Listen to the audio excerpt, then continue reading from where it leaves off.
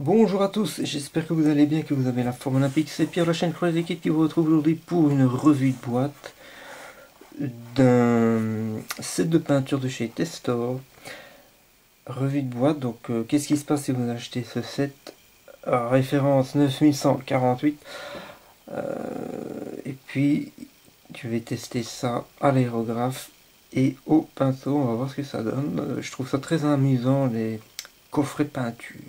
Alors euh, ça fait longtemps que je cherchais un coffret Testor parce qu'on ne trouve pas ça ici. Puis finalement j'ai réussi à mettre la main dessus. Donc ça fait plaisir. Alors c'est assez bien présenté. Vous voyez dans le rayon du magasin à mon avis, euh, voilà. Ça tient comme ça. Il y a toutes les peintures qui sont ici dans la boîte. Apparemment il y a des pinceaux. Donc ça va être l'occasion de voir à quoi ressemblent les pinceaux Testor. Voilà. Beau petit coffret. Tranquille, relax. Alors il est mixé de l'acrylique. On va voir ça. Voilà. Et là, il faut un peu de pub pour d'autres produits, hein, parce que Testoff peut aussi décolle euh, ce genre de produit-là. Euh, les petites bombes de peinture comme ça qu'on ne trouve pas ici en Europe non plus.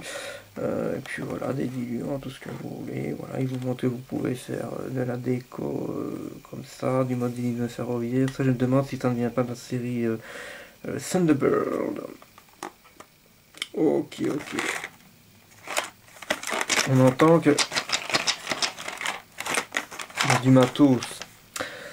Donc, c'est amusant parce qu'on a aussi des inscriptions en français, kit de peinture, tout usage pour artisanat et bricolage. Alors, ce n'est pas une petite lichette pour ouvrir, c'est collé. Alors, comme personne ne parle jamais en français de ces peintures testo, je me suis dit, ça peut être intéressant de le faire. Ok, ça s'ouvre comme ceci, voilà comme vous pouvez le voir, il est quand même mis ici. Acrylique. Non toxique. Lavage à l'eau. Alors ça, on va voir ça. C'est intéressant. Hum, ça a l'air bien présenté.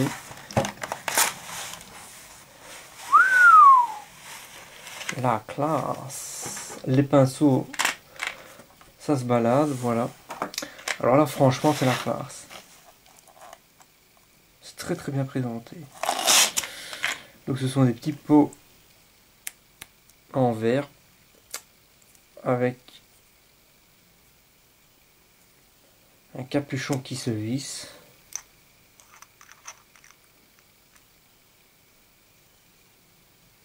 Ça a l'air sympa. Je sniffe. Hmm, ça me rappelle un peu l'odeur des... petits pots modèle master.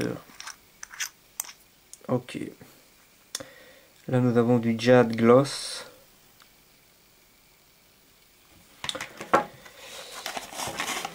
Ici nous avons un jaune, un mauve, un rouge, un vert. Ça c'est du noir brillant, du blanc, une espèce d'orange. Et ça, je ne sais pas ce que c'est. Euh, on a tout ici en fait, c'est beaucoup plus. Voilà, charbon de bois brillant. Voilà.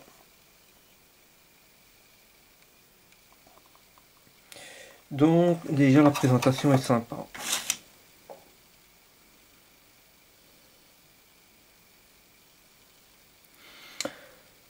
Alors, c'est pinceaux qui sont fournis avec, mais alors là, les pinceaux, c'est vraiment... Euh, voilà, je crois que ça se passe de commentaires, c'est tout de même comique.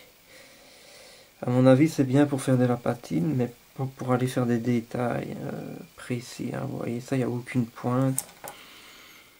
Alors celui-là, il est même destroy. Bon, je crois qu'ils ont mis ça plus pour la forme qu'autre chose. C'est toujours amusant de voir ça.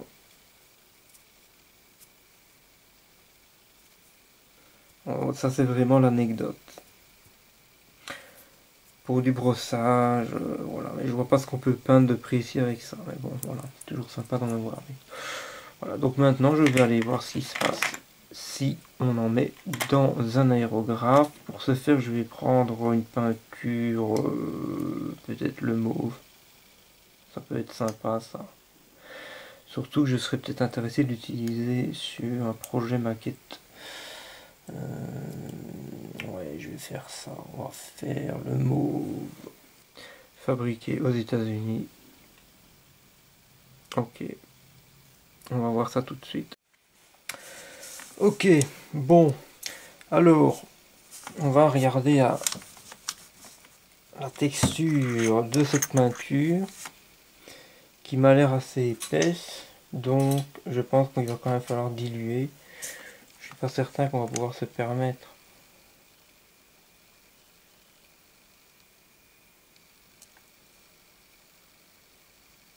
Oui, non, c'est beaucoup trop épais. Donc ce que je vais faire, c'est que je vais, on me dit que c'est de l'acrylique, donc je vais utiliser un diluant qui normalement fonctionne avec de l'acrylique, à savoir le célèbre Mr Color Leveling Tiner 400. Ok, on va voir ça tout de suite.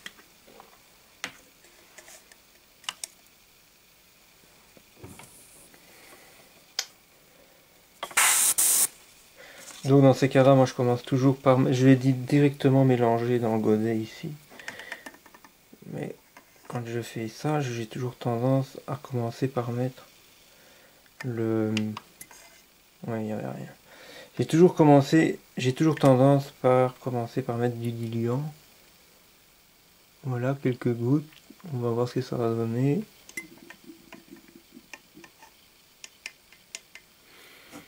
La peinture, je pense que je vais quand même la touiller un petit peu. Un petit peu plus que ce que j'en ai déjà fait.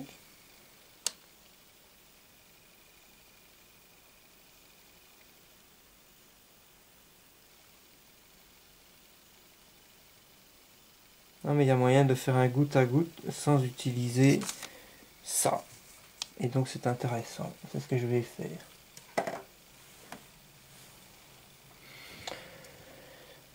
Alors, voilà.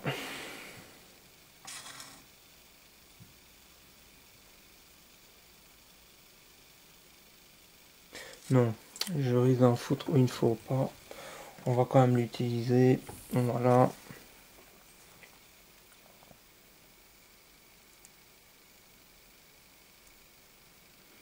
Évidemment, j'en ai pris trop, c'est pas grave, on pourra le remettre.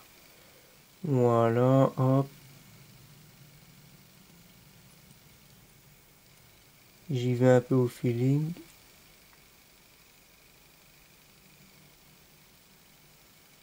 On va touiller dans le godet de l'aérographe pour voir ce qui se passe. Voilà.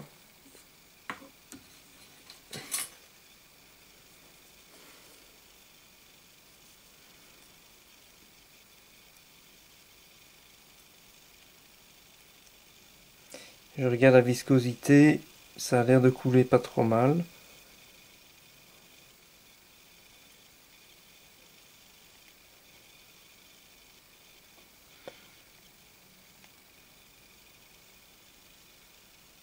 Mais je pense que ça peut le faire, je vais tester comme ça, on va voir ça. Pour éviter toute catastrophe, je vais d'abord refermer le petit pot. J'aime beaucoup les, les pots qui se vissent et se dévissent. Voilà. La teinte est très sympa, ça peut être sympa pour faire des low rider. Et ça aurait été sympa aussi pour la voiture du Joker. Ce mauve. Voilà, ça c'est magnifique, ça c'est clean, c'est nickel. Pas de problème. Je vais refermer celui-là aussi pour éviter tout problème. Ok, c'est bon. Je vais pas allumer la ventile comme ça, c'est encore plus simple. Alors, j'ai préparé des cuillères, vous voyez, je les ai poncées pour casser le brillant, mais j'ai pas mis de primaire. Je n'ai pas mis de primaire. Mais comme le brillant est cassé, ça devrait aller. Je vais mettre un petit coup de dégraissant pour voir. Parce qu'il y a peut-être encore un peu de poussière, comme ça on est sûr qu'on est dans les bonnes conditions. Voilà, hop. Ok, nickel. Alors maintenant, je vais quand même mettre ça parce que j'ai quand même foutu des diluants. Parce que de toute façon, c'est toujours chiant d'avoir de la peinture sur la main. Ok.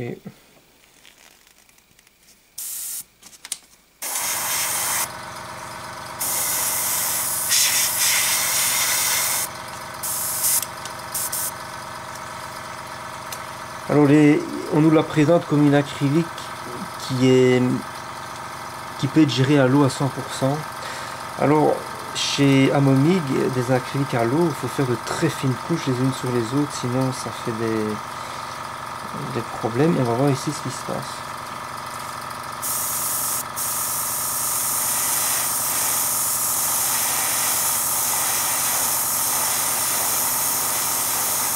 On va déjà mettre une couche. Première couche, donc je suis à une barre pour ceux que ça intéresse. La dilution, évidemment, je ne peux pas vous dire, j'ai mis autant de gouttes de peinture et autant de gouttes de diluant, vous m'avez vu faire. Mais euh, je teste la viscosité en faisant, en faisant couler. On se rend bien compte si c'est trop liquide ou pas assez liquide. Euh, voilà, première couche après, on fera un test en chargeant comme un ouf euh, d'entrée de jeu. Maintenant, je vais croiser, on va voir ce que ça va donner. Voilà.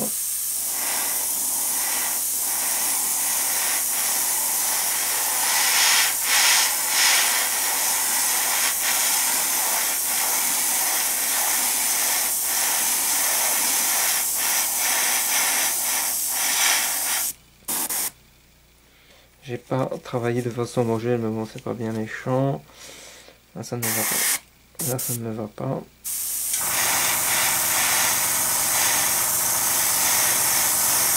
Je vais charger un petit peu plus, mais j'ai l'impression... Oui, c'est ça qui est intéressant, c'est super sympa. Là, j'ai clairement trop chargé, mais en fait, ça ne crée pas les défauts qu'on a quand on charge trop avec les acryliques à l'eau à momie. C'est toujours sympa de le préciser, de le savoir. Même si j'aime beaucoup Amomig, hein, mais je, fais la comparaison puisque j'utilise aussi Amomig. Je vais essayer d'homogénéiser tout ça, mais une nouvelle peinture, faut toujours un peu de temps de la prendre en main. Alors on est sur une buse ici de 0.3, buse aiguille 0.3 sur un aérographe Iwata Eclipse HPCS. J'aurais bien voulu tester avec le patch, mais je l'ai utilisé tout à l'heure, il est en train de sécher après nettoyage. Alors, on va remettre de la couche.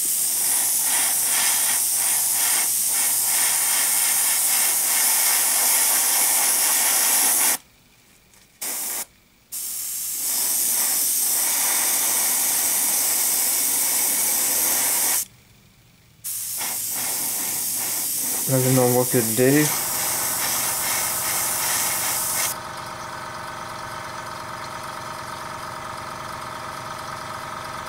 brillant, c'est sympa.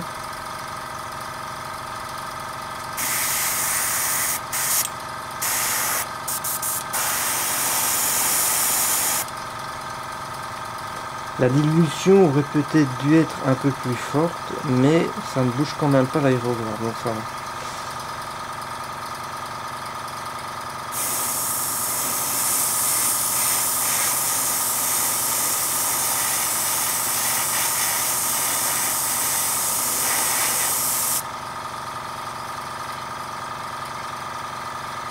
On va essayer de tirer là où ça n'a pas été euh, préparé. Donc sur une surface brillante pour la croque.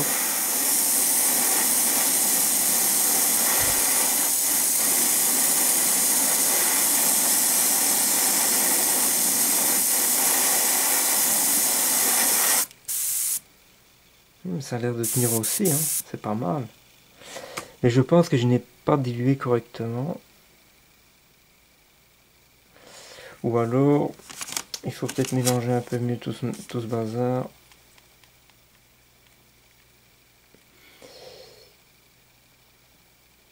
Je vais rajouter une petite goutte de diluant. Mais bon, même avec une dilution approximative, parce que je découvre cette peinture, euh, on a quelque chose, quoi, quand même. Donc voilà, en mode ultra débutant découverte, euh, j'obtiens quand même quelque chose. Et en plus, franchement, la gueule de la teinte est sublime. Ça donne vraiment une, quelque chose de spécial. Ça m'intéresse aussi pour la figurine du pingouin que je n'ai pas encore faite. Ça, c'est vraiment une, une teinte très sympa. Bon, juste une goutte ou deux, on va pas non plus trop en mettre.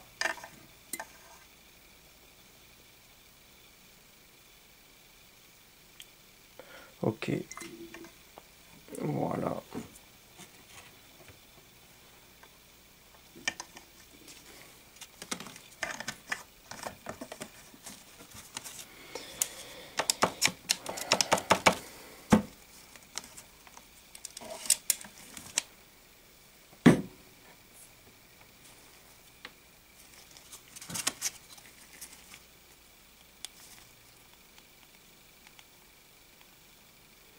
Bon là c'est plus liquide. C'est beaucoup plus liquide même. Je vais essayer sur une autre cuillère. Mais là déjà c'est pas mal. Je vais quand même en remettre ici puisqu'il y a déjà une couche.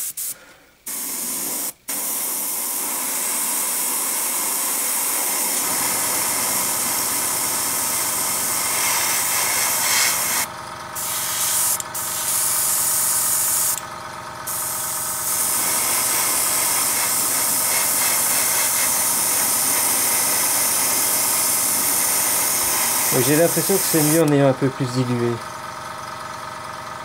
En fait, la peinture accroche même sur une surface euh, complètement brillante.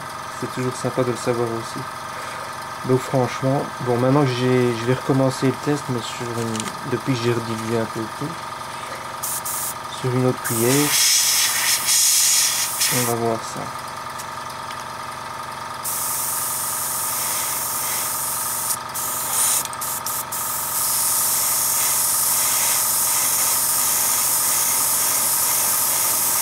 Je fais exprès de charger très fort direct pour voir. si on charge comme ça avec la momie gallo, c'est foutu. Là, apparemment, ça n'a pas l'air de, faire les petits creux. J'envoie uniquement de l'air pour accélérer le séchage. C'est hyper efficace sur les, les peintures acryliques. Mais la brillance est impressionnante. Franchement... Euh, cette peinture mérite d'être connue.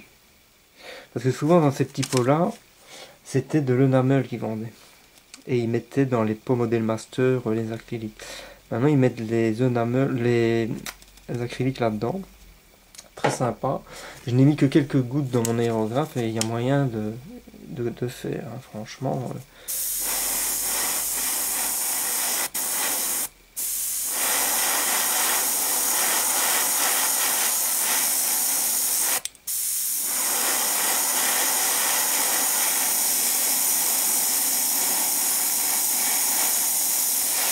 Donc c'était bien dilué un peu plus. la peinture a l'air tolérante, puisque en grand débutant, c'est quand même passé. Après, c'est vrai que le Link Tiner de Mr. Hobby, euh, c'est un produit miracle. Il compense pas mal d'erreurs possibles. On va faire un petit test pour voir est-ce que ça s'éjuite ou pas. Ah oui, voilà. C'est sec.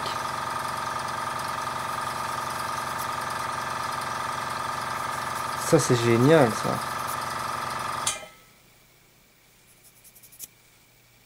Ça, c'est la classe. Eh bien, franchement, je suis très étonné. C'est la première fois que j'utilise euh, chez Testor l'acrylique euh, de ce type. Et je suis très impressionné. C'est vraiment la classe.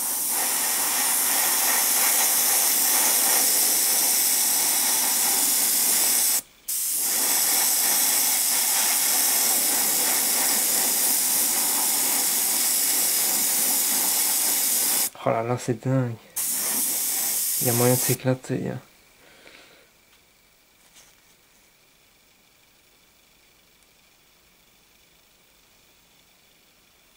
Ça, se tend, c'est nickel. Ouais, c'est nickel. Eh ben écoutez, franchement, l'aérographe, euh, c'est la classe. Bon, il m'en reste dans mon aérographe, donc je vais continuer à m'amuser un peu. Là, on est encore sur une surface qui n'a pas été préparée. N'est pas le, brillant est franchement brillant. La dilution est augmentée. On va voir ce qui va se passer.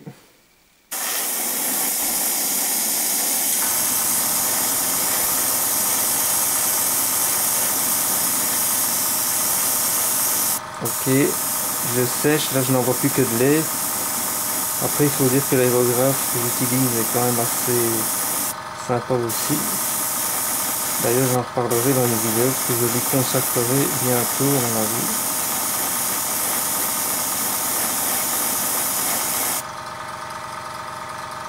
Voilà, là je ne couvre pas complètement, donc je renvoie de la couche.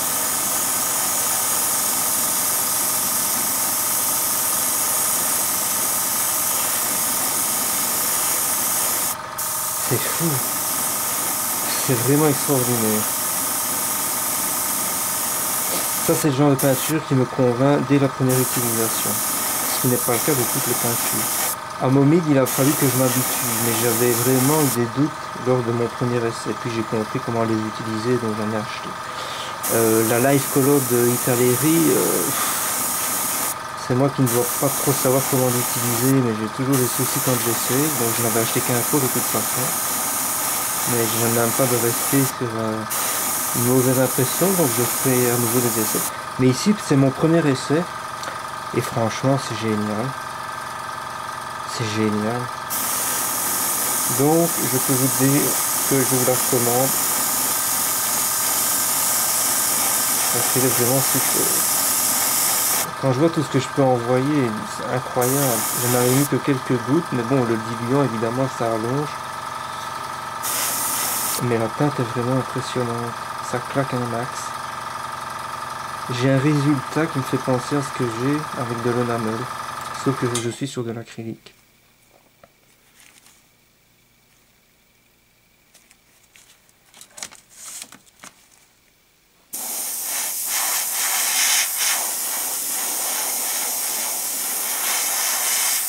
On va essayer de foncer encore un peu la teinte.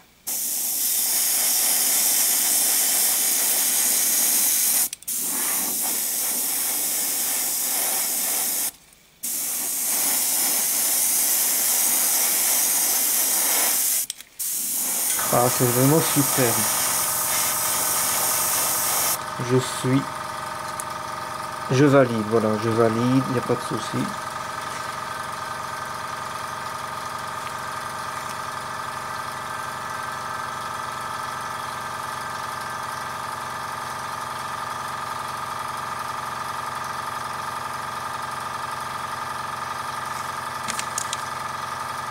Voilà, là c'est beaucoup plus chargé que là, vous voyez, on peut vraiment obtenir ce qu'on veut.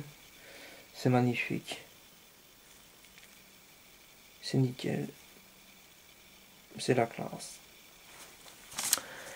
Alors maintenant, on va la tester avec un pinceau. Euh, alors, comme je vous l'ai montré, les pinceaux Testor, ils sont très bizarres. Mais c'est pas grave, parce que le but c'est de voir si... Euh, le but n'est pas d'avoir un travail... Euh, de précision, c'est juste de voir si au pinceau on a quelque chose d'intéressant, enfin d'agréable à travailler. Voilà, le drôle de pinceau Testo. Ok, vraiment, ça c'est vraiment pas le truc haut de gamme. Hein. bon, ça c'est rien, ça ils ont mis ça dans la boîte pour faire plaisir. On va regarder ça tout de suite. Donc on va d'abord essayer ça sans aucune dilution.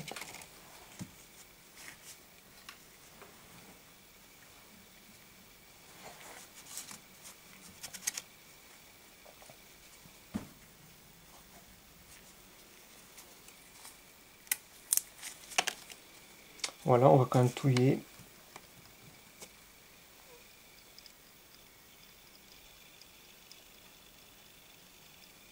On va y aller directement dans le petit pot, c'est en général pas trop conseillé, mais bon, on va quand même faire comme ça. Donc là, on est sur la version qui n'est pas diluée. Après, on verra si, euh, voilà, dans mon aérographe, il reste un petit peu de peinture.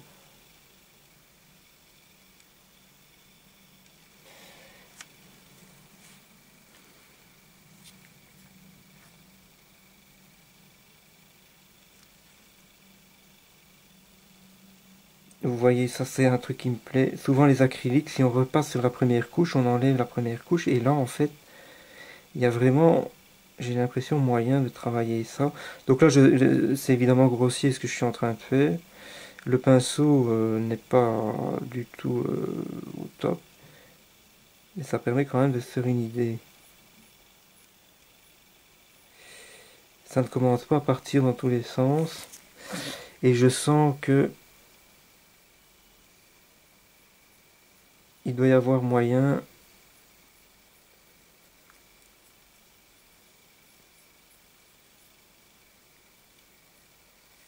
d'éviter les, les, coups de pinceau en la diluant un peu.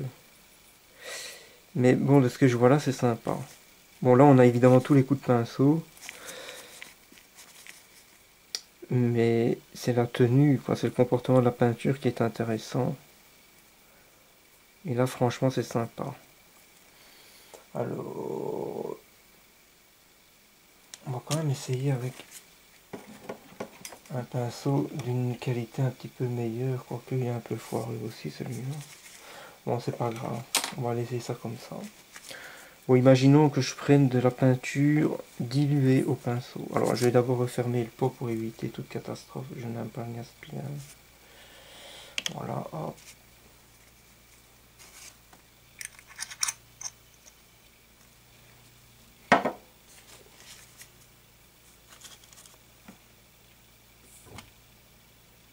On va quand même essayer de voir s'il n'y a pas moyen de sécher ce que je viens de faire au pinceau au toute vitesse.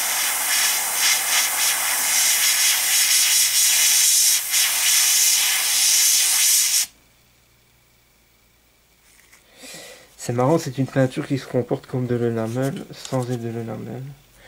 Ça, c'est super amusant, ça.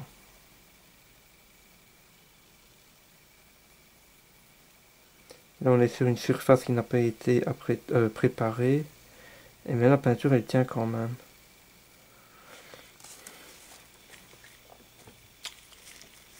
Bon, voilà, on va prendre de la peinture diluée.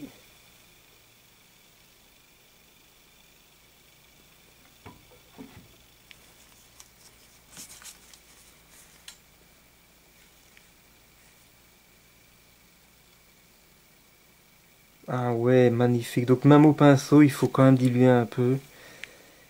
Et là, on voit tout de suite qu'on peut obtenir des choses. Alors évidemment, dans ce genre de situation, on met un trait, on attend que ce soit sec pour repasser au-dessus. Si on veut quelque chose de sympa, sinon on va se retrouver avec des traces de pinceau. Je vois que la batterie de ma caméra commence à faiblir.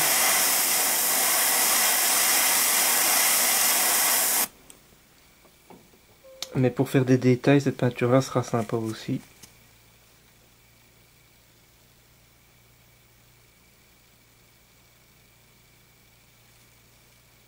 Ça quand même enlevé un petit peu. Mais bon, j'ai pas séché assez et j'ai mis trop d'un coup. Mais euh, je vois bien que c'est sympa. Franchement, c'est sympa.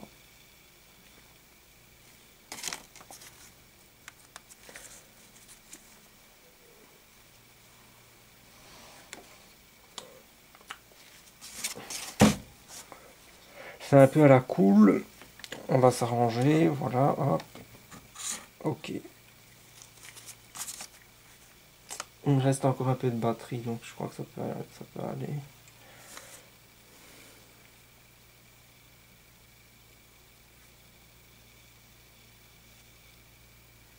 Il y a moyen de faire des trucs sympas.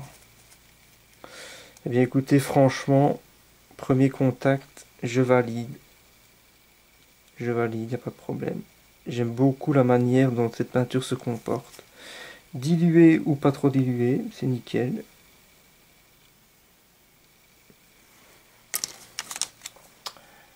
Ça fait plaisir de faire de nouvelles découvertes. Qu'est-ce qui se passe? Les gens encore ici. Hop.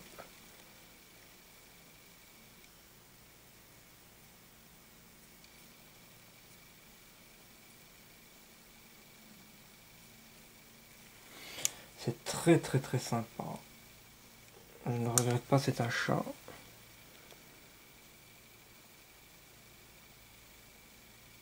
Mais évidemment, je suis sur un bord de cuillère qui est complètement euh, une grosse ligne. Mais franchement, c'est sympa.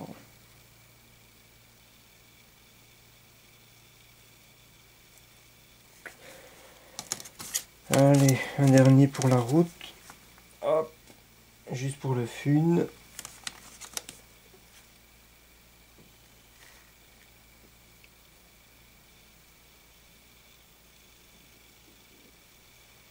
Eh bien moi je valide, je trouve ça super, très très bonne peinture. J'espère que cette vidéo vous aura plu, sur ce je vous dis à la prochaine. C'était la chaîne Crazy Kid, ciao ciao